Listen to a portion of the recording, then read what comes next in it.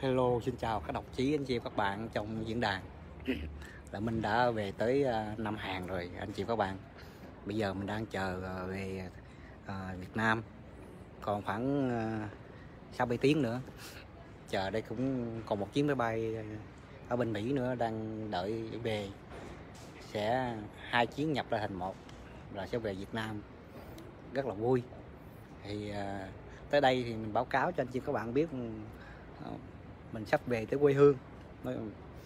Phải nói là những cái chuyến đi như thế này, mình mới thấy cái người Việt của mình, họ quý giá về cái họ họ nhìn về cái quê hương một thay đổi. Tôi nói chị các bạn biết, không cần biết họ bỏ quê hương ra đi vì bất cứ lý do gì.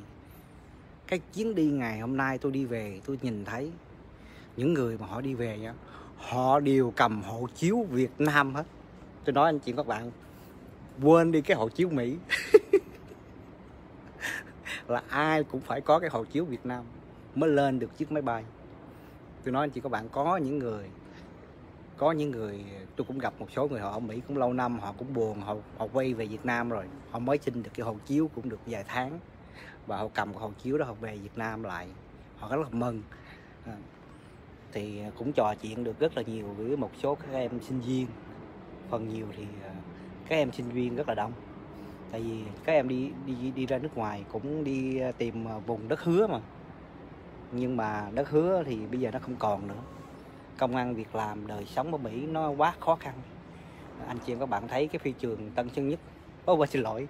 Phi trường của Nam Hàn ừ, gần như là là chỉ có cái cái cái cái gian hàng dịch vụ của người Việt Nam mình là đông thôi. Là đông là đông khách hàng thôi còn những cái cửa mà đi xuống, những cái hãng máy bay khác, nó vắng như chuột bà đành chị bạn tôi nói chị các bạn, tôi đi những cái phi trượt này bao nhiêu năm trời nay, tôi đi đi về về, chưa bao giờ tôi thấy những cái cảnh tượng, những cái phi trường quốc tế của những cái quốc gia từ ở Mỹ cho đến Nam Hàn, nó vắng vẻ. Ngày xưa anh chị các bạn biết lúc mà tôi đi, không có bị Covid á, máy bay lên xuống lên xuống, người tấp nập, nhộn nhịp. Mà hỏi anh chị các bạn như vậy man. Còn nguy hiểm dễ sợ. Phải nói là cái nền kinh tế của những cái quốc gia mà phát triển chăm bề khó khăn. Việt Nam không bị ảnh hưởng nặng nề lắm. Tại vì Việt Nam mình là một quốc gia nhỏ, một quốc gia mới phát triển. Các bạn thấy những cái quốc gia mà phát triển như Nam Hàn, Mỹ rồi nó điều hưu màn ơi, nó điều hưu nhìn thấy rất là sợ anh chị các bạn. Tại vì những người nào mà dân mà làm ăn, kinh doanh đâu đó, nhìn thấy cái cảnh này là thấy không có hấp dẫn. Các bạn biết à, nó phải nhộn nhịp, tấp nập, người ta sầm uất.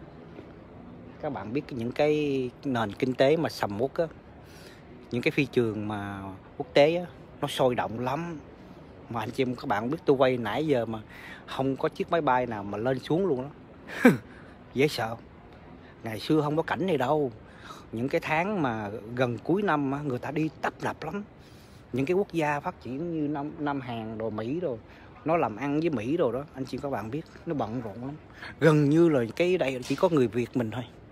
Tôi chỉ thấy cái cổng đi ra đi vô chỉ có người Việt. Toàn là dân cầm hộ chiếu Việt Nam không nha, anh chị các bạn. Nào bây giờ là đừng có nói là tôi à, hộ chiếu Mỹ là công dân Mỹ. Giục mẹ đó đi. Bởi khi mà có biến đó, ờ, lúc đó mà à, có người thì cầm hộ chiếu Việt Nam bảo là xấu hổ bây giờ mà kiếm cái hộ chiếu Việt Nam cầm không ra đấy. Bây giờ nói không mà đi xin hộ chiếu Việt Nam bên Mỹ đâu phải là dễ đâu. Phải chứng nhận đủ thứ hết. Các bạn thấy toàn là hộ chiếu Việt Nam không? Rất là vui. thôi thì lại mình à, like cập nhật cho anh chị các bạn. Là phía nay mình về tới à, Việt Nam sẽ cách ly. Cái, chuyện cách ly thì Việt Nam dĩ nhiên là nó bình nó cũng như mọi người thôi. Thì à, cái luật ở đâu mình phải làm đúng theo đó. Chứ không phải có nhiều người hỏi về có cách ly không. Cái chuyện cách ly là đương nhiên. Những cái chuyến bay như vậy là để bảo đảm cái sự an toàn cho Việt Nam thì ai cũng phải ý thức chứ đâu phải kiếm cách trốn. Cái đó là nó không có tốt. Mình phải chấp hành những cái ờ, pháp luật để ờ, bảo vệ cái sự an toàn cho cộng đồng, nhất là cho người dân Việt Nam. Khi đi ở những cái vùng ờ, dịch quốc gia lớn mình về, nó có những cái vùng dịch dùng dịch mà nó nó nó trầm trọng giống như Mỹ vậy là phải chấp chấp hành cái cái luật cách ly chứ không phải tìm cách trốn rồi đi ra đường rồi để lây người này người kia. Cái đó là cái sự vô ý thức, vô trách nhiệm. Không cần biết anh có tiền hay có gì không cần biết. Nhưng mà khi khi đến bất cứ một quốc gia nào thì mình phải chấp nhận cái luật lệ. Khi mình ở trong quốc gia mình cũng vậy. Mình đi ra khỏi đất nước, mình đi trở về, mình cũng phải chấp nhận cái luật lệ. Phải biết thượng tôn pháp luật để bảo vệ cái cái sự bình yên của đất nước chứ không phải ý là tôi ờ, thấy đẩy này nọ rồi tôi về tôi trốn không cách ly. Cái đó là vô ý thức. Theo cái nhìn của tôi là như vậy. Thôi mình lại ở đây nha. Nghỉ mệt một chút được. Đi công nhận mệt thiệt chứ. Hồi lúc trước đi là hai à, đi 24 10 24 tiếng hồ tới. Mà giờ đi ba mấy tiếng hồ mới về tới. Tại vì à, mùa covid mình phải đi nhiều trận. Và nó mất đợi, cái thời gian nó đợi cũng dài thôi xin chạm thôi xin mà tạm biệt anh chị các bạn. Khi nào mình về tới quê hương mình sẽ update à, cập nhật thông tin. Công nhận phi trường nó vắng thiệt anh chị các bạn. Ghê được chứ. Bye bye bye xin chào anh chị các bạn nha.